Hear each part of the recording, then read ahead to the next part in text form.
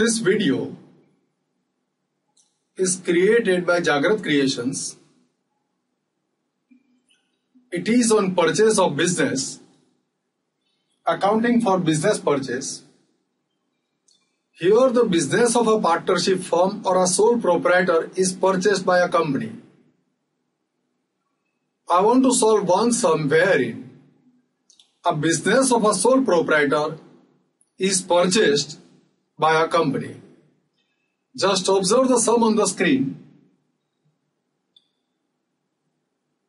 This is the sum that I intend to solve here before you. Akash Limited was incorporated for taking over the business of A as on 1st of January 2017 when his balance sheet was as under. This is the balance sheet of Mr. A. Creditors, loans, capital, land and building, plant and machinery, furniture, debtors. Fixed assets are purchased at 10% less, goodwill value 10,000. Company realized 10,000 from debtors as agent of the vendor in full settlement and discharge all creditors by, by paying rupees 8,500. The loan creditor accepted 8% preference shares of rupees 100 each. In discharge of, their, of the loan, the total amount due to vendor was settled by payment of 2,400 in cash and the balance equity shares of rupees 10 each past journal entries in the books of company. Now in this sum, company is incorporated to purchase the business of A. Generally, business is made of assets, liabilities, and its reputation means the value of its earning capacity. Here, company has purchased land and building, plant and machinery, furniture, means all fixed assets are purchased at 10% less. For goodwill, company has agreed to pay 10,000 rupees. Out of liability loan of 15,000 is being purchased by the company and this loan is settled by giving preference shares. Company has not purchased debtors and creditors, but company has agreed to collect the debtors on behalf of Mr. A. So, company is an agent for collecting from debtors. So here the debtors are 10,500. Company realized only 10,000. So 10,500 minus 10,500 is the loss on account of bad debts or discount. This loss is not the loss of an agent means company. This loss is a loss of Mr. A. So company collects 10,000 from debtors of 10,500. 500 is a loss. It is not an expense or loss of the company, but it is a loss of Mr. A.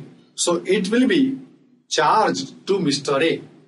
Similarly, the creditors are 8,900 and the settlement is made with payment is made. The creditors are satisfied by making a payment of 8,500. So 400 rupees are, is a discount that has been earned.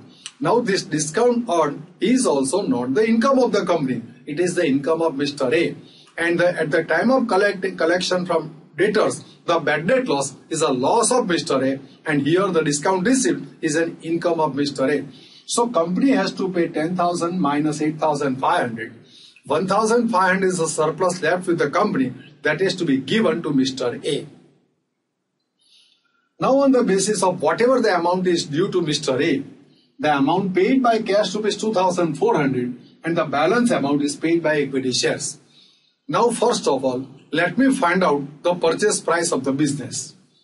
For the purpose of finding out the purchase price of business, here I am going to write down what is being purchased at what price and how the amount is paid or payable. That I will write on the opposite side, what is paid or payable. So here, if you observe that some fixed assets are purchased at 10% less, so land and building are purchased 10% less. So land and building are purchased for rupees 18,000. So what is purchased land and building for 18,000? Plant and machinery 10% less. So 3,500 minus 10% 350.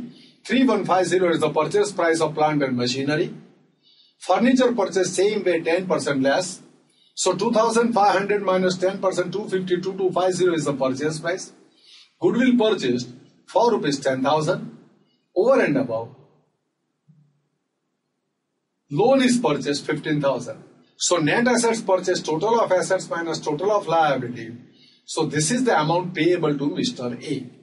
So at the instance of this purchase of assets and liability, amount payable to A is 18,400.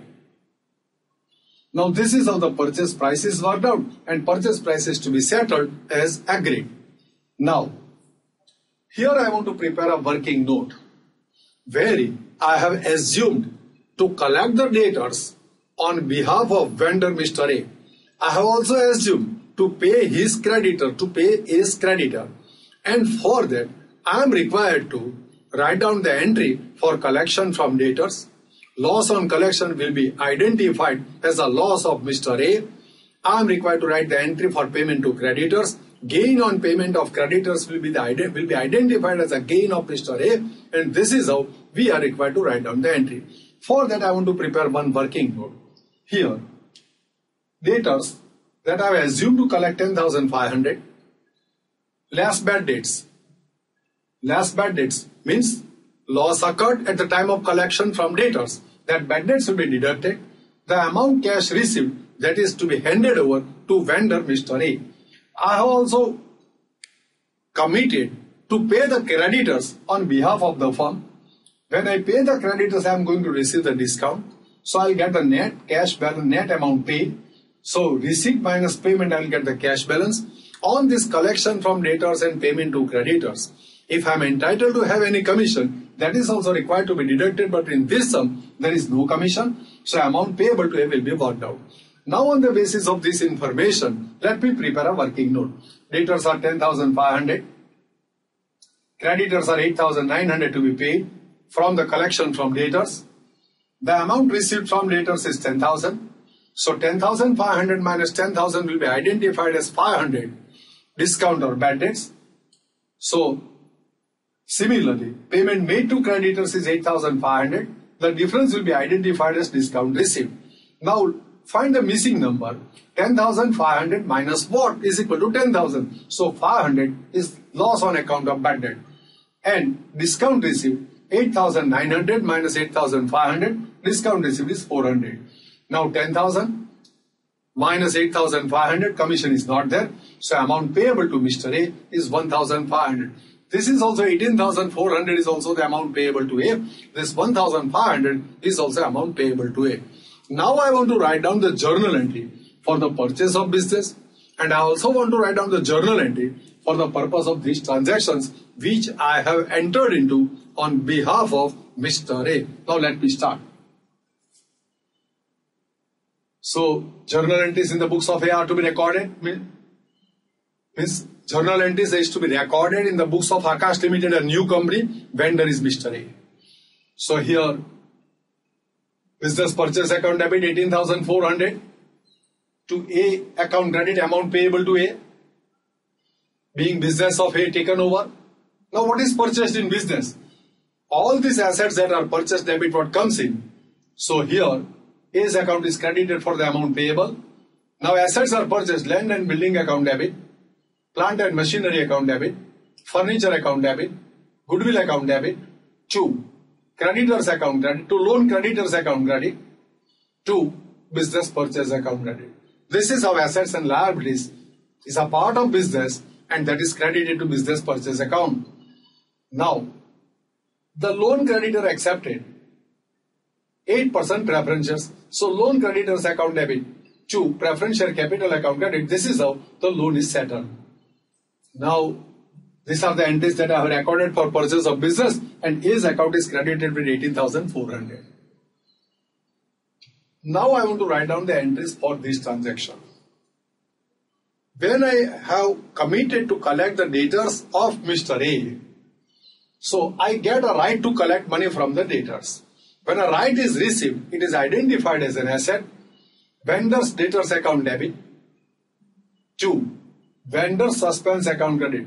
Though I get the debtors of 10,500, I don't commit to pay 10,500 total amount. The amount is subject to bad debt loss. And when the amount is not certain, the amount to be payable, On collection of debtor is not, not certain, so vendor suspense account is to be credited for that. From this vendor suspense account, bad debt loss will be deducted and net amount is left that will be paid to Mr. A after making, after deducting therefrom payment made on their behalf for paying creditors. So here first of all I got the assume the debtors, vendor's debtors account debit to vendor suspense account, being assumed to collect the vendor's debtors. Now I have also co committed to pay creditors on behalf of vendor. So creditors are 8,900. So it is not likely that I am going to pay 8,900 totally. It is a likely amount. So amount is not certain. So the transaction vendor suspense account debit to vendor creditors account credit. Creditors is an obligation to pay. Liability has got credit balance. So it is credited and the amount corresponding effect is given to vendor suspense account. Why vendor suspense account? Here also vendor suspense account credited with 10,500. Vendor suspense account is debited with 8,900. This is the difference between the two is a likely amount to be paid to vendor. So at present I say that 10,500 minus 8,900 is the likely amount to be paid subject to changes that occur in light of losses occurs at the time of collection from debtors or the incomes and gains occur at the time of payment of creditors. In light of that, the difference between this 10,500 minus 8,900 is subject to change. And as the amount is subject to change, amount is not certain, the word suspense is used. Now, debtors are assumed. We have also assumed to, assumed to pay the creditors on behalf of Mr. A. Now we start collecting the money. Next. Now amount is 10,000, bank account debit, cash or bank account debit. Now 500 is the bad debt loss. 500 is a bad debt loss expenses and losses are debited. If it is my expense and my losses, I will debit expense and losses in my books of accounts. But these are the expense and loss of Mr. A which I am required to deduct from the amount payable to him. So his suspense account will be debited. So his suspense account debit 500. To, vendor's debtors account credit 10,500. So amount collected from debtors 10,000. Amount total settled 10,500 against that amount received is 10,500 is a loss. That loss is debited to vendor's suspense account. To that extent, amount payable to vendor declines. Now look at the creditors. Now creditors, they are paid. Vendor creditors account debit. The amount payment is 8,500 so cash goes out. 8,500 credit what goes out. And 400 is the additional amount to be payable to vendor because this is a gain of vendor. This discount received is not my personal income of the company. It is an income of the vendor. So income of the vendor is to be credited to vendor suspense account. If there is a loss for loss to be sustained by the vendor, vendor suspense account is to be debited. And that's what I have done while debiting vendor suspense account with the bad debt loss. So bad debt loss is debited to vendor suspense account. Discount received is credited to vendor suspense account. And by that we can work out the net amount payable to the vendor. Now, the amount payable to vendor is what? 1500. So now suspense is no longer existing. So you have to close vendor suspense account. So vendor suspense account debit to Mr. A account. Now the amount payable is certain. So A's account is credited with 1500.